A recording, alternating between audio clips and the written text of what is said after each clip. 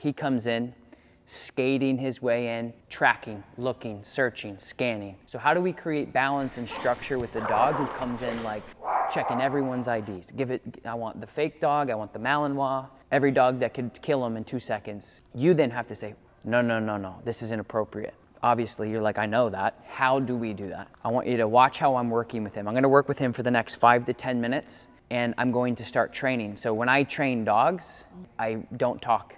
I don't need to talk. I might say a little bit to you, but this will be probably the fullest extent I will work with him for the weekend, and then it's gonna be up to you. Or somebody you're, hey, leave it. No, leave it. So you have to be very assertive, is my point. You see somebody coming over with a tall glass of milk, ready to do this, and you're in charge of that person, what are you gonna do? You're gonna go over and say, What are you doing? We don't do that. You're gonna, what are you doing? That's what you have to be like with him.